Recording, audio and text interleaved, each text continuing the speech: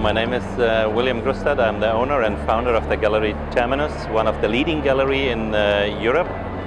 And um, we are in front of uh, our newest uh, young artist.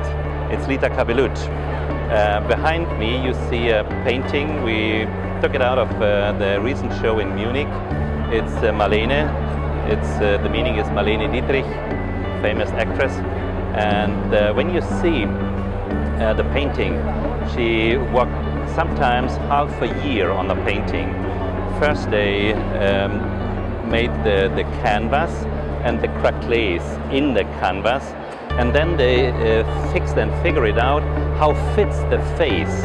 It's not after a photo, it's only painted from her memory. And then she turned around the uh, canvas and see how the crackling uh, fits or not. If not, she prepares other canvas to make the face the right position and the right practice. And then you see the result behind. Beautiful painting. What is very important, behind me the eyes are closed, but uh, when you see other paintings from her, the eyes, they are really speaking, unbelievable.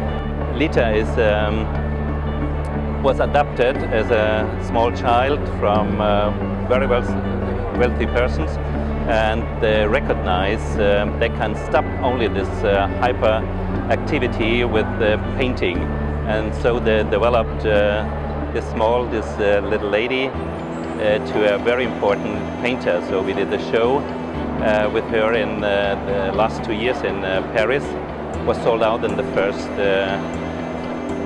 hour, I can say, but uh, there was only one buyer. And uh, it was published.